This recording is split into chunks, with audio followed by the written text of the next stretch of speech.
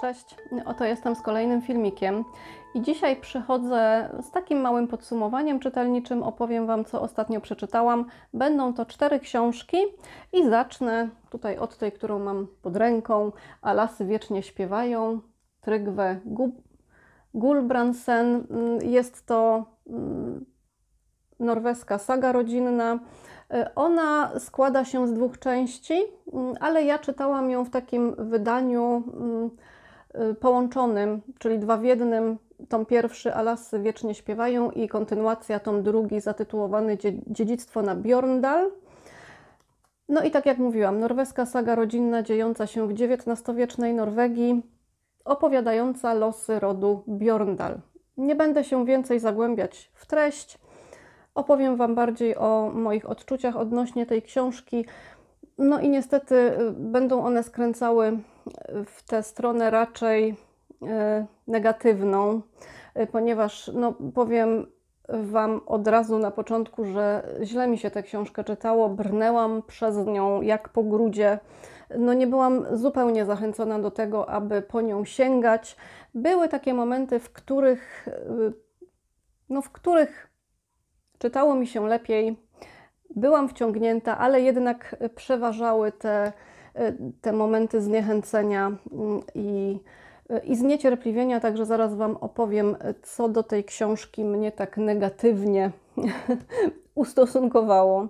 Na początek była to taka atmosfera mm, mroźnej, zimnej Norwegii, której ja oczekiwałam, a której dostałam dosyć mało.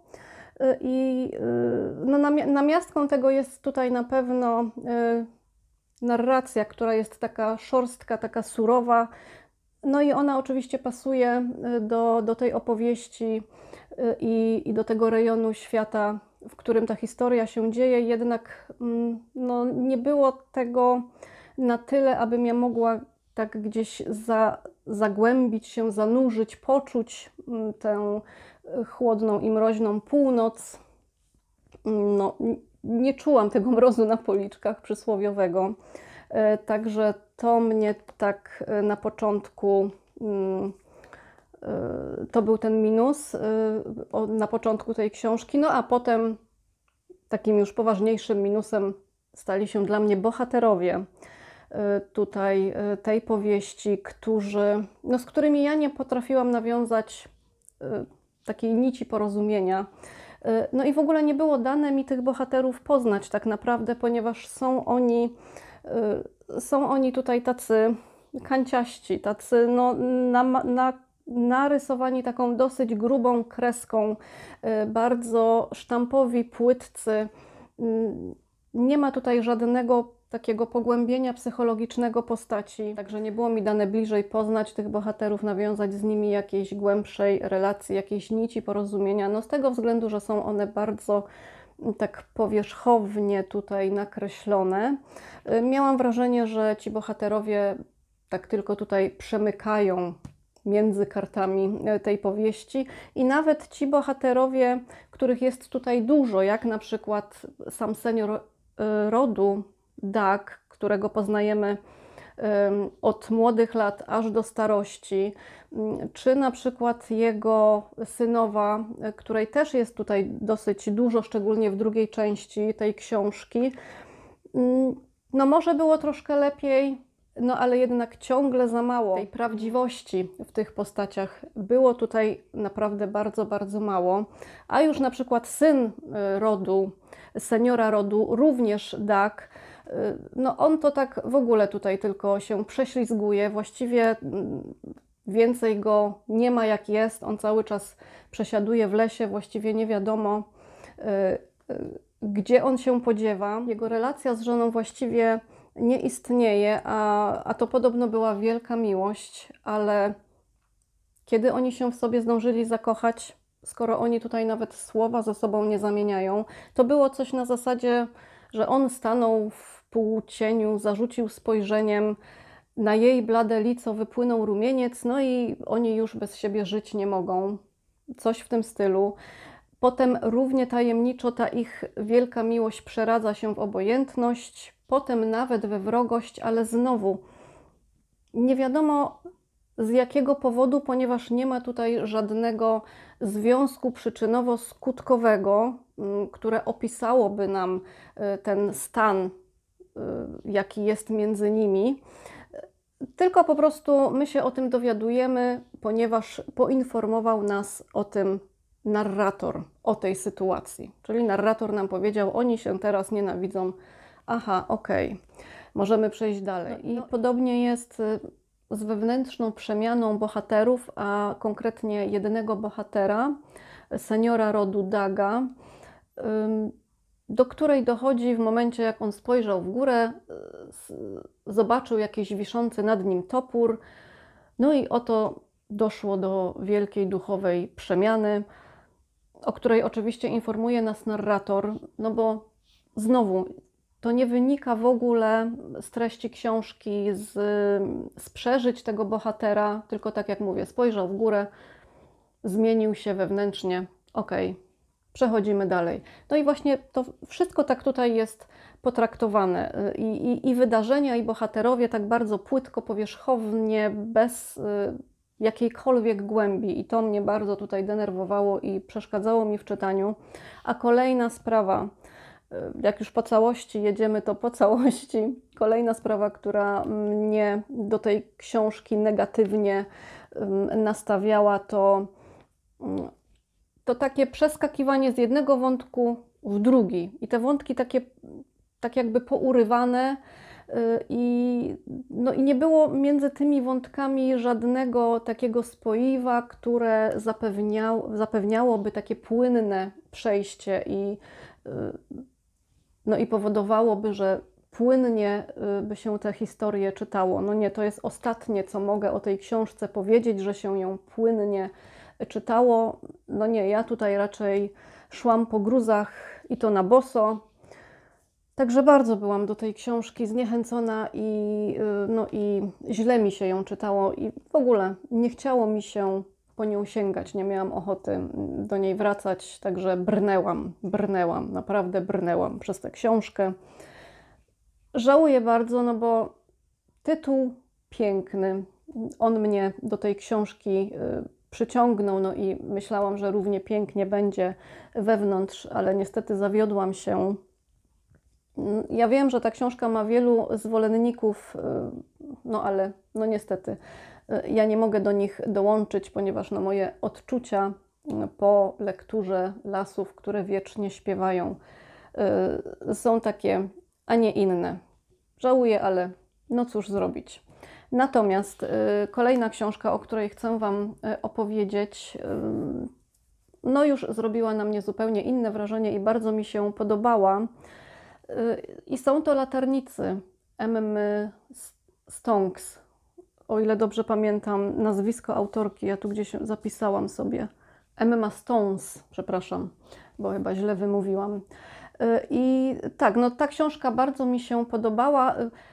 Y, chyba dlatego, że y, gdzieś tam moja introwertyczna dusza tutaj mm, została usatysfakcjonowana, ponieważ no, czytając wyobrażałam sobie siebie w tej latarni i tak zastanawiałam się, mm, czy taka izolacja by mi odpowiadała, jak długo bym tam wytrzymała, mm, oczywiście z walizką książek, bo jak żeby inaczej. No tak myślę, że chyba bałabym się sztormów. Na pewno bałabym się sztormów. No ale ciekawa jestem mm, z mojej takiej reakcji i, i odczuć z przebywania w takiej samotni jak latarnia morska. A cała ta historia jest zainspirowana prawdziwymi wydarzeniami, do których doszło w, na początku ubiegłego stulecia, czyli y, te wydarzenia dotyczą zaginięcia właśnie latarników na jednej chyba z Wysp Brytyjskich, o ile dobrze pamiętam, no i autorka właśnie na podstawie tamtych wydarzeń Y, opowiada nam tutaj mm, historię, którą przeniosła y, do lat 70. Mm, ubiegłego y, wieku. No i właśnie mamy trójkę latarników, którzy znikają podczas pełnienia służby w latarni. No i to zniknięcie jest bardzo takie mm, tajemnicze, osobliwe, można powiedzieć niewytłumaczalne, ponieważ no, latarnia jest zamknięta od wewnątrz, a latarników nie ma. Także przyznacie, że jest to taka historia dosyć tajemnicza i wywołująca nawet y, takie dreszcze. Cóż tam się mogło wydarzyć? Mm, no i my poznajemy mm, tych latarników na chwilę przed zaginięciem. Y, poznajemy ich y, codzienne życie właśnie w latarni morskiej. Śledzimy pamiętnik czy dziennik jednego z tych latarników, który opisywał w nim, jak to życie tam w tej latarni wygląda. E, no i również poznajemy ich e, relacje z żonami, mm, partnerkami. E, no i dochodzimy w końcu do tego momentu zaginięcia. A potem przenosimy się w czasie o 20 lat, czyli mamy kolejną linię czasową, i tam już do głosu dochodzą właśnie żony, partnerki tych zaginionych latarników y, i, no i poznajemy ich, y, ich wersje. One nam opowiadają o tych wydarzeniach ze swojej perspektywy, opowiadają, przepraszam, opowiadają o tym, jak sobie poradziły, bądź nie z całą tą sytuacją i czy w ogóle mm, jest możliwe zamknięcie, zamknięcie tego rozdziału w, w momencie, w którym tak naprawdę one nigdy nie dostały odpowiedzi na pytanie, co się stało, jak do tego doszło, jak doszło do tego, że ich mężowie zaginęli i tak naprawdę do, do teraz one nie dowiedziały się, jaki los ich spotkał. No, także mm, taka to jest książka. Jest naprawdę bardzo ciekawa, ponieważ ona opowiada, mm, opowiada o, o tym, jak trudno jest się pogodzić z przeszłością, o tym, że te duchy przeszłości są cały czas żywe, szczególnie w momencie właśnie, w którym, w którym no, ta przeszłość nie została nigdy zamknięta, ponieważ tak jak mówię, te kobiety nie dostały odpowiedzi na pytanie, co się stało. Poza tym okazuje się również, że między kobietami jest bardzo dużo takich zadawnionych i nigdy niewyjaśnionych ran. E, także to też jest taki powrót do przeszłości i, no i takie rozliczanie się z tą przeszłością. No ale przede wszystkim e, jest to taka książka o potrzebie samotności, e, ucieczki od świata. No i też jedna z tych kobiet, właśnie mm, ona cały czas żyje w takim poczuciu, że ta latarnia zawsze stała między nią a jej mężem, no a ostatecznie mm, to ona tego męża jej odebrała. Także polecam. Myślę, że introwertycy szczególnie będą usatysfakcjonowani y, tą historią.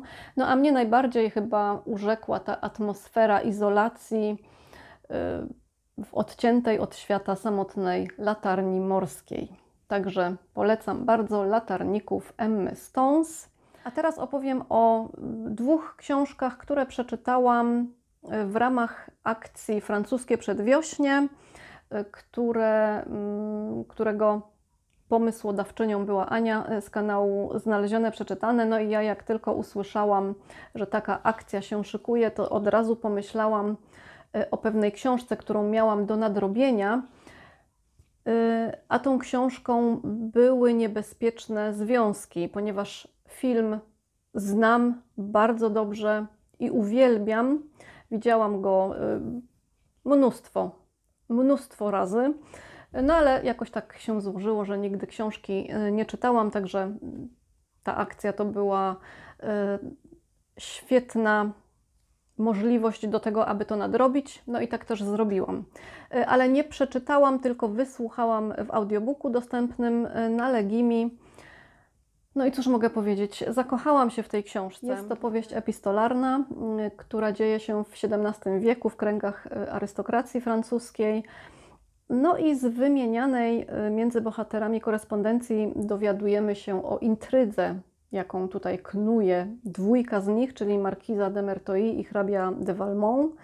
Y, Markiza to jest, y, to jest ta, która tutaj pociąga za wszystkie sznurki i to ona tutaj kontroluje tę nieczystą grę.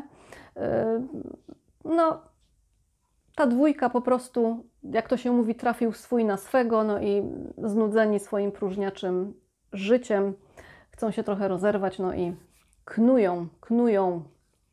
Także nie będę Wam więcej opowiadać, no bo przecież wszyscy na pewno znacie, mm, jak nie książkę, to film.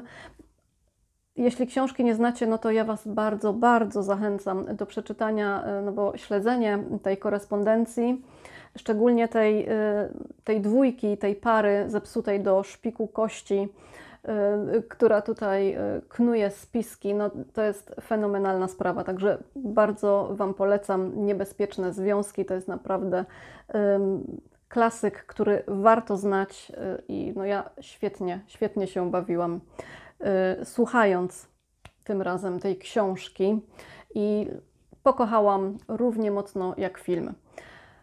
Y, no, także to były niebezpieczne związki i jeszcze została mi jedna książka, którą przeczytałam w ramach tego wyzwania francuskiego i to jest książka Anomalia. Na początku tej książki poznajemy dosyć sporo y, postaci, bohaterów, y, którzy pozornie są ze sobą niezwiązani, ale szybko okazuje się, że łączy ich pewien lot. Lot z Paryża do Nowego Jorku, o ile się nie mylę.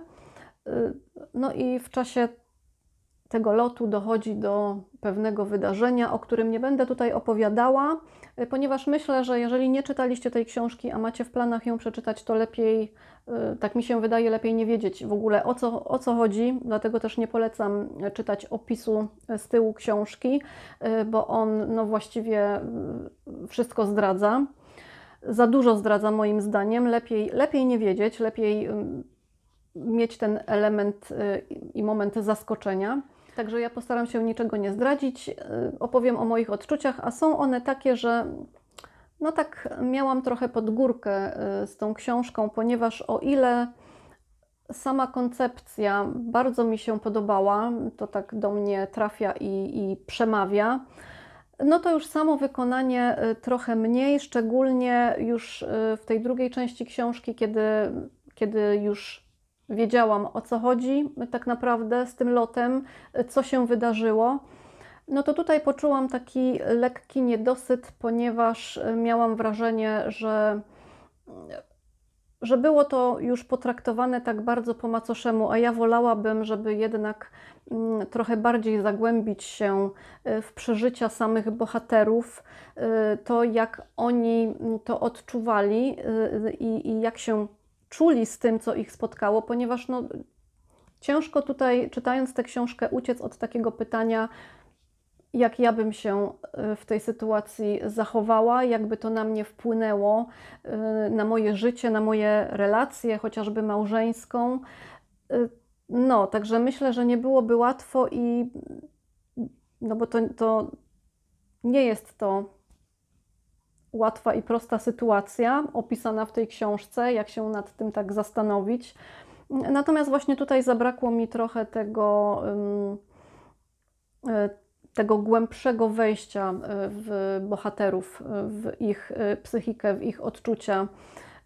Miałam wrażenie, że to, że to zostało tak, no tak właśnie jak powiedziałam, po macoszemu tutaj potraktowane, także to mi się nie podobało i, no i dlatego ta książka też mm, chyba mogę ją zaliczyć do, do swoich rozczarowań.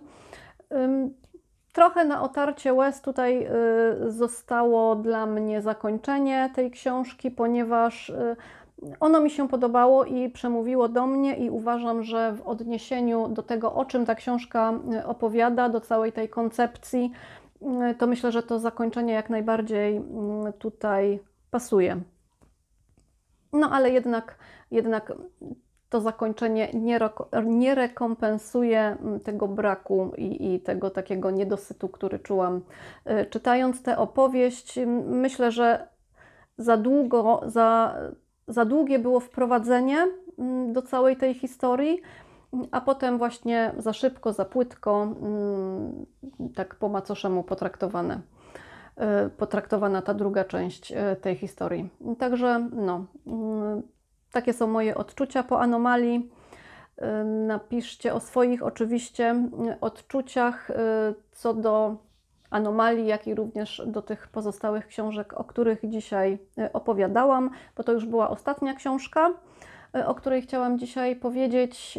Y, Także no, y, to tyle y, ode mnie dzisiaj. Dziękuję Wam bardzo za y, spędzenie tego czasu w moim towarzystwie. Mm, I cóż, zapraszam Was do kolejnego filmiku. Pozdrawiam i do zobaczenia. Pa, pa.